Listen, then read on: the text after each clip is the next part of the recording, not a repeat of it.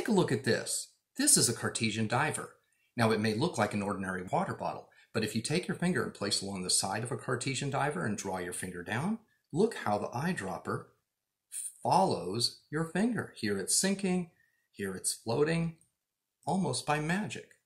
There might be a little bit of magic involved, but there's mostly science.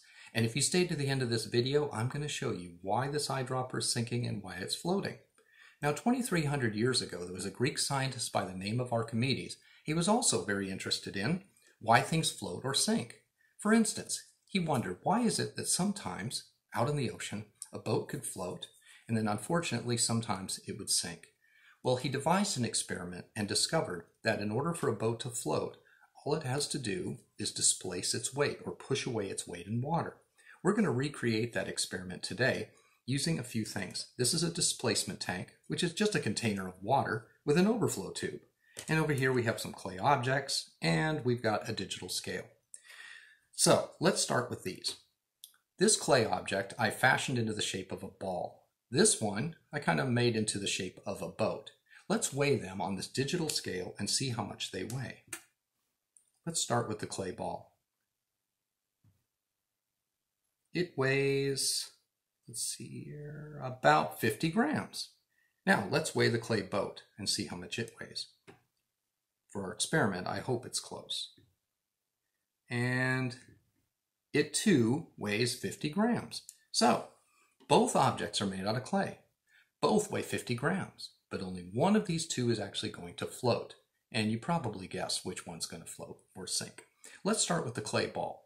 Let's place it in this overflow tank, this displacement tank. And not surprisingly, it sank like a rock. And a bunch of water is coming out on this end. How much water comes out? Well, if we wait long enough for all the water to drip out that would drip out, it would come out to about 30 milliliters on our graduated beaker.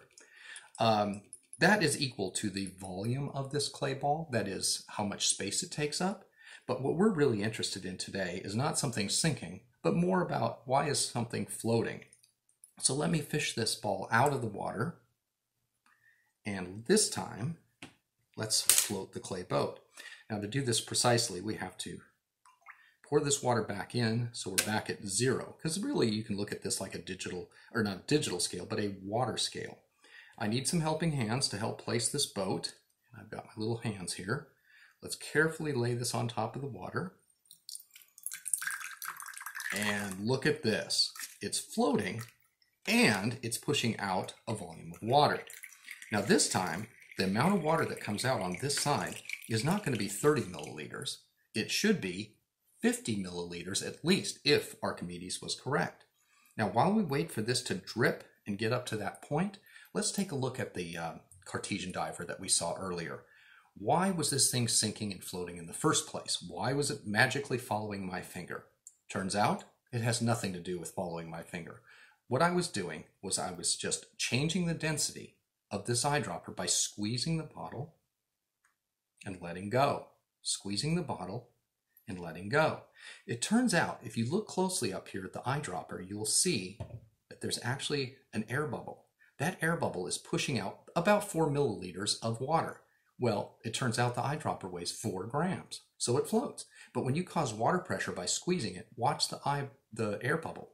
It gets compressed. It's too small and it sinks to the bottom. But when I let go, the air bubble expands, pushes out four milliliters, and it floats again. Well, let's go back now to our little boat in the water and see what we've come up with.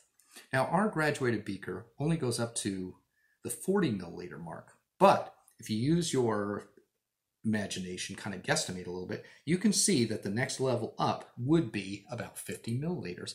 So it turns out that Archimedes really did know what he was talking about. All right, you guys, I hope you enjoyed this little experiment, and I hope you enjoy the rest of your day. Bye-bye.